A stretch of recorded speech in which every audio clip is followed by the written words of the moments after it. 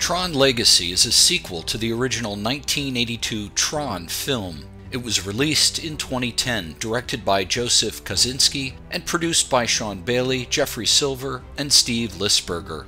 The movie pivots around the work of Kevin Flynn, the CEO of a company called Encom. Flynn mysteriously disappears, and his son Sam eventually decides to look for him. Sam quickly discovers a secret passage at his father's old arcade, which leads to a sophisticated computer and a portal that transports him to a virtual world created by his father. And thus, Sam's journey begins.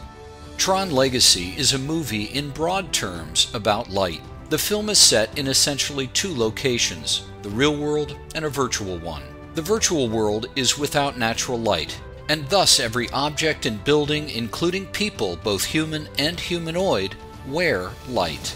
Like our world, the virtual one created by computer programmer Kevin Flynn is filled with architecture. However, the architecture of the movie uses light at its edges or on its surface, but not so much to illuminate space. Strips of light are not only found on people and buildings, but also on the fantastic machines like the light cycle, light jets, fighters, transports, and warships, which ingeniously can also produce strips of light that become physical objects. The architecture of the film takes clues from the general science fiction genre, but is set apart by the way light is utilized on objects and in space. The virtual city in the film Tron Legacy is much like those of the real world, composed of various forms at varying heights. However, these forms also resemble simple objects whose edges and surfaces are accentuated by light. It's almost as though light has replaced the way paint is used to delineate or spell out a message in our real world. The visual aesthetics of the film become like a language of symbols of unknown origin.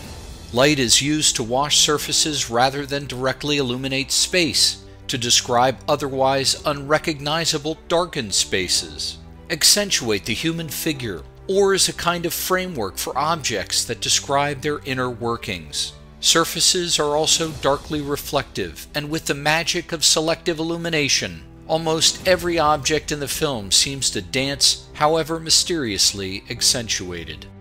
In Tron Legacy, there are more than a few notable examples of creative architectural space and form in the virtual world. The stadium where Sam Flynn is sent to perform a series of deadly physical challenges is otherworldly. His father's home outside the city is also notable.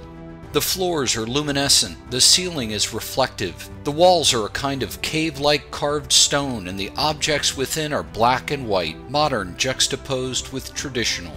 The nightclub where Sam ventures is set atop a skyscraper filled with curvilinear forms and accentuated with strips of light. The architecture of Clu's warship is a massive industrial space replete with an army of glowing soldiers, war machines, and a vast web of passages and platforms. And finally, the portal, which is both ancient and futuristic, stunning and death defying. Tron Legacy is a visually impressive film and a creative tour de force. Its original thinking about architecture and light are also inspiring.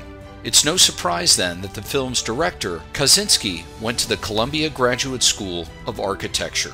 I'm Doug Patt. We'll see you next time.